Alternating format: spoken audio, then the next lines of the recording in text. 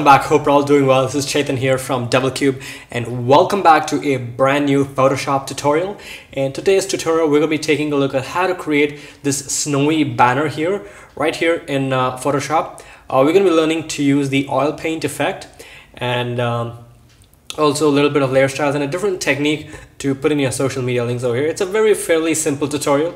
So um, let's get to it. So what I'm actually going to be doing is I'm going to be referring my PSD file, which you guys can download. I'll, I'll keep it for download in the description so you guys can, uh, you know, use it. Um, and uh, yeah, so I'm just going to go ahead and show you the, the layers that I have and uh, you know show you how I made each.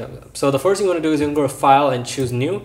And since I'm making it for Twitter I want the width and the height to be 1500 by 1500 sorry I'm sorry 1500 by 500 if you guys want it for YouTube you can go to Google and just check out the dimensions and uh, that should work out so once you click on OK, uh, I'm going to press Control 0 to fit the, uh, fit the canvas to the screen. And uh, you want to get an image from Google or anywhere uh, of a snowy background. So I have a picture over here, which is going to just drag and drop.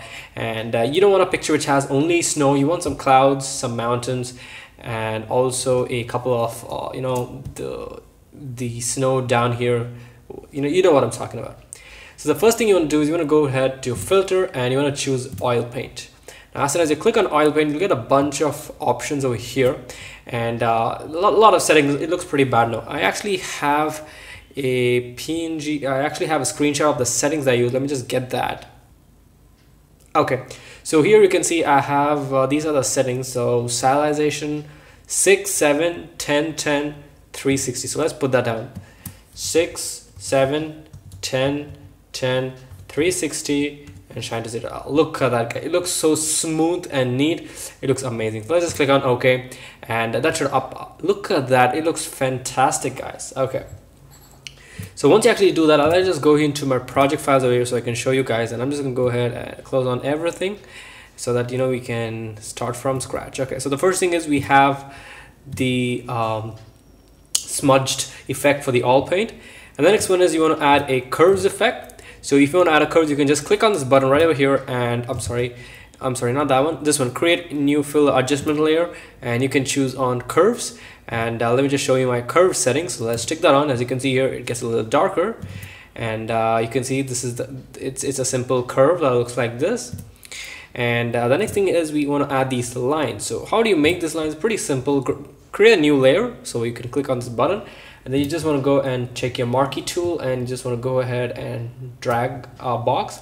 And then on the new layer you want to go and make sure your foreground is set to white.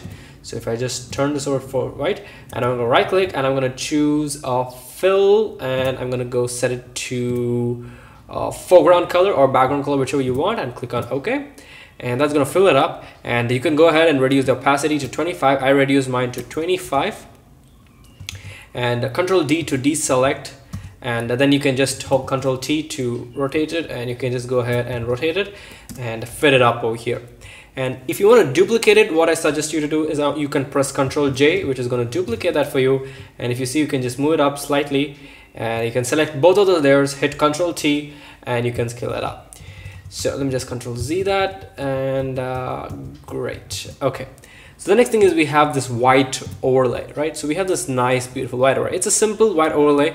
So uh, how I actually did that is I went to the gradient tool, sorry, the gradient tool over here, and uh, you can go ahead and grab a black to white, I'm sorry, the black to white color, and I just went this set this to like you know somewhat gray not completely gray and you can just go ahead and on a new layer you can go ahead and just drag it from the left side to the right side and uh, that should create your new layer. So if I just let me just show you that once again. So you create a new layer and you're gonna go ahead and right yeah there we go. So it's kind of pretty much the same effect. Uh, I just reduced the opacity down to 45% as you can see over here and uh, that should do. Uh, the next thing is is we have this snow. So I just went online and to Google and I got a snow picture. And and then I so if, if I if I actually go set it to normal and if I set this to a hundred this this is basically the picture that I found on Google. The only thing I did is I went set the uh, the opacity to uh, sorry the blending mode to screen and reduce the opacity down to 30 and that gives us a nice snowy effect. Okay the next one is where we can start putting up our logo and uh, you know add some uh, uh, you know drop in our text and stuff so the first thing is we want to add this circle. So it's just a simple circle. Let me just zoom in. And I'm gonna press control plus to zoom in. And that's going to zoom in. So you can just go ahead and grab a circle using the same methods. Use this mark elliptical marquee tool. And you can hold down shift control and alt to scale from the center. And only shift and alt uh, okay uh, only shift uh, oops what happening? So shift and control sorry shift and alt is to go and get you a circle right from the center and uh, if you want to align it you can just click on the layer press Control A and that's going to select everything. Then you can come here, top, and you can click on these two buttons, which is align horizontal uh, layers and horiz uh, align horizontal center, vertical center. And you know, make sure that you're in the move tool if you want that. Okay, so then we're going to add a couple of layer styles over here. So just I'm click on that and I've added a color overlay with uh, this color code. So 191919 and you can go to drop shadow and uh, these are the settings that I've used. The distance of 10 and the size of, sorry, distance of 3 and the size of 10 excuse me okay so once we have our logo we can go ahead sorry our circle we can go ahead and add in our logo. So i just added on my logo over here and i've added a just a drop shadow. So if you can see the difference the drop shadow similar settings where the distance is set to five. Okay once that is done we can go ahead and put in our placeholders. So our placeholders is basically uh, if i just show you guys over here it's basically a rectangle over here. So uh, pretty simple. So, so what I actually did was I grabbed a new rectangular uh, marquee tool. So like that. And then uh, I'm to, I just gonna go fill it up. Okay, let's actually go create a new layer. Okay, so we're gonna right click and I'm gonna choose fill. I'm gonna fill it with white. Now, what I'm gonna do next is I'm actually gonna go and select the pen tool. I'm gonna press P on the keyboard. And then what I'm gonna do is I'm gonna go ahead and just click here on the corners to create this nice triangle over here. And I'm gonna press control enter which is gonna make it a selection. And I'm gonna hit delete and that's gonna delete it and I get this nice slant. So that's what I actually did on both the sides also same on here and the same on the other side as well. So if I just show you on the other side it's yep there it is. Okay. Uh, we're gonna come to this uh, the social media links a little bit later. So yeah okay uh, so so the, the, layer styles that are applied to this are a simple color overlay, which is 191919, the same as a circle. And uh, if you go to drop shadow, we have the same thing. So it's 2, 4 for distance and the size respectively. Okay, then next thing we have is these two. So these are just additional elements. So what I actually did is I uh, created, uh, so I just made a copy of the this layer so, okay, let's actually go do it. So I'm just gonna press Control J to duplicate. So I'm gonna get this layer right over here.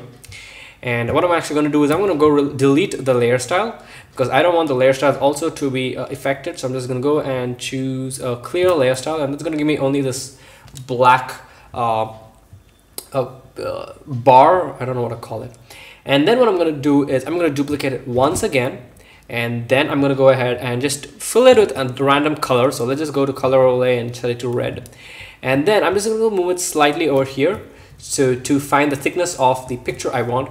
And what I'm gonna do now is I'm gonna press control and I'm gonna click on this thumbnail over here. And that's gonna make a selection for me over here if you see guys. This is gonna make a selection. And I'm gonna go go ahead and press delete on this layer which is basically the black layer and what that is going to do is if I just delete the red layer, you can see now we have this. this is the bar which I wanted. Now you can just go ahead and select all this and click delete and that's going to remove that. And you can just go ahead and copy paste the same layer styles by right clicking, click on copy layer style and then you can come over here and choose right click paste layer style. Uh, paste layer style uh, oh, I mean, we didn't copy it so you want to copy layer style come here and click on paste layer style and that's going to give up the same effects as the uh, overlay color and the shadow which we had for these big bars. Right so I just made a couple of copies on the left side and the right side. If I just go to the right side I can probably show you. There it is. Uh, let's go up. Great. Now, uh, now we can come ahead and uh, add on the social media links. So what I actually did is uh, I have I, I got a social media so so what actually I did is um, I got the social media link pictures so I'm gonna be using a simple text just to explain how I did it. So for example, if I just go and create a new text and I'm just gonna go call this B, just a simple letter, and we can just go ahead and the scale is down pretty low. So yes, okay. So assume this is the social media icon of the picture. And now what I'm gonna do is I'm actually gonna go ahead and right rasterize this, but your object would have already been rasterized, so that's not gonna be a problem. And so if you see, this is our placeholder, right? So I'm just gonna go click on this B over here, and that's gonna create a selection for me over here. And if I come on this layer and I'm gonna hit delete, you can see it gets deleted.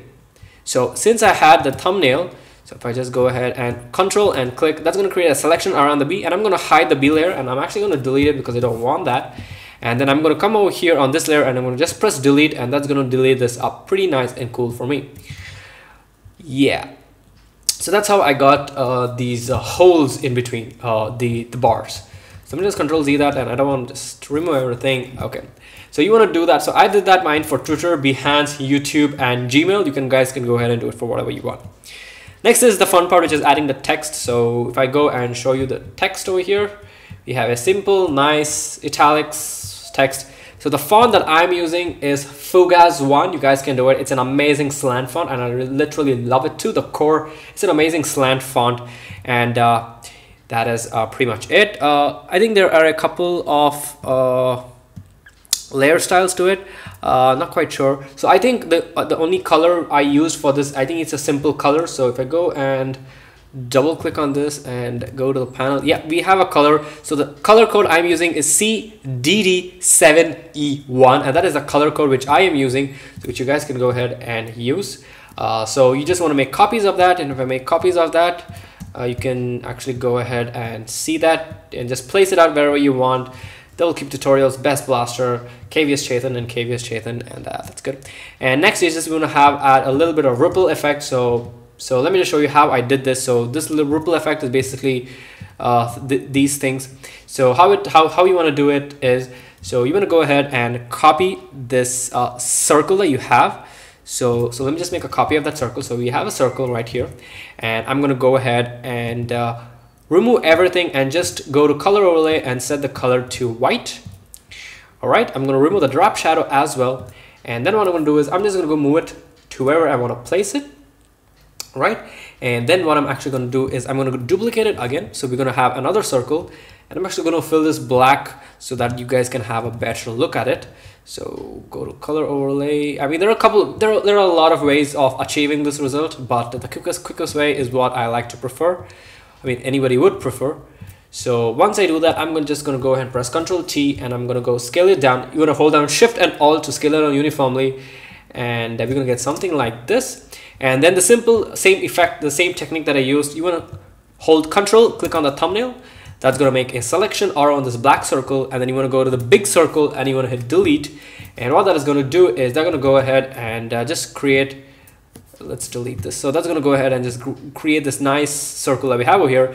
And you can just move it to the left and right. And uh, then you want to go ahead and you can go ahead and reduce the opacity. So as you can see here the opacity is pretty low. So I can go ahead and uh, ripple. So the opacity maybe set that down to I don't know let's, let's actually move over here so we can have a better look. Maybe raise the opacity down to 20 uh, or maybe 10 yeah I think 5 yeah 5 was the I think the same opacity I used. And now as you can see over here it is coming over this place. So what you want to do is again uh, go to the the right placeholder that we have. So if I just hide it this is what?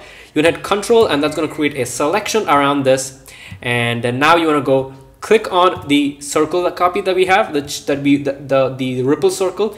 And you want to hit control shift I that's going to reverse the selection and when I hit delete you can immediately see that it gets cut and it, it applies only on the bar so basically that's the only thing if I move it around you can see what we have and then I just made a copy of that and I merged them together. So you want to merge two layers, you can go select them, right click and choose merge layers or you can use a shortcut control E to do that. And then I just uh, duplicated the whole uh, ripple right and then I just hold it move it on to the left and uh, by pressing control T right click and choose flip horizontal and that's going to move it up and you can just go ahead and move it up. Okay, so once that is done, the only thing left is to add a little bit of color correction. So since it's uh, you know uh, blue in color for the snow or you know just the most suitable one I just added a gradient map. So these are the color settings that I have. So we have 2C5857 and then we have a lighter version of a cyan blue that is C1DFE7 so that is the colors and you can just go ahead and drop that on and uh, let's just have a look at it again. So you can just you, you can put whatever you want doesn't matter. And uh, that's the final color correction. Let me just put on the logo back on to show you how it finally looks. okay I think I deleted my logo. Damn. Oh okay that, that's fine.